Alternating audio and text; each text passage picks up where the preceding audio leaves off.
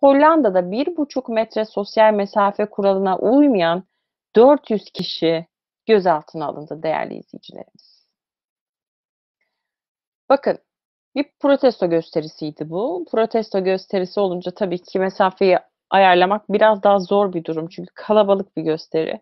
Yetkililer pazar günü Lahey kentinin bir bölgesinde hükümet binası yakınında yapılan protesto gösterisine belediye tarafından yasaklanmış olmasına rağmen binlerce kişinin katıldığını açıkladı ve polis üzerlerinde karantinayı durdurun, bir buçuk metre sosyal mesafe kuralını kaldırın yazan pankartlar taşıyan göstericilerin kısa bir protesto yapmasına izin verildiğini ama kalabalığın dağılmaması üzerine 400 kişiyi gözaltına aldıklarını belirtti. Gerçi onların da yapacak bir şey kalmamış artık çünkü dağılmıyorlar.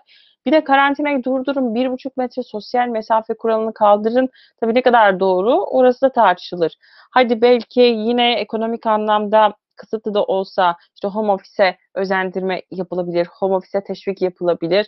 Bir anlamda sıkı karantina olmasa da biraz gevşetilebilir ülkemizde olduğu gibi ama sosyal mesafeyi kaldırın ne demek? Yani gerçekten bunu isteyen vatandaşlar niye var? Sonuçta koronavirüs daha bitmedi, Hollanda'da da bitmedi. Yani vaka sayıları kimi ülkelerde belki daha az, işte toplam vaka sayıları yine daha az bakıldığında ama bitmedi sonuçta. Sosyal mesafeyi kaldırma isteği niye gelir ki halktan? Sonuçta onların sağlığını korumak için böyle bir kural konuluyor. Orası da ilginç gerçekten. Burada da ben tekrar haberin ayrıntısına baktığımda polisin de yapacak bir şey kalmamış haliyle gözaltına almış diye bir yorum dile getirmek istiyorum. Virüs bitmedi yani sosyal mesafeyi kaldır ne demek? Böyle bir talepte bulunmaktan ziyade bu kuralları daha da devam ettirelim. Halkımızı uyaralım.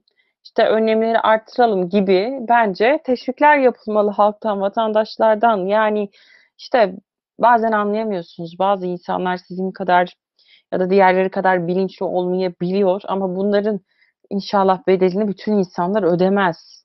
Öyle de bir durum var biliyorsunuz. Sonuçta toplumda yaşandığı zaman bir diğerinin yaptığı hatayı bir de virüs söz konusu olunca bir başkası çekebiliyor. Yani suçsuz, günahsız bir diğeri çekebiliyor. Allah korusun.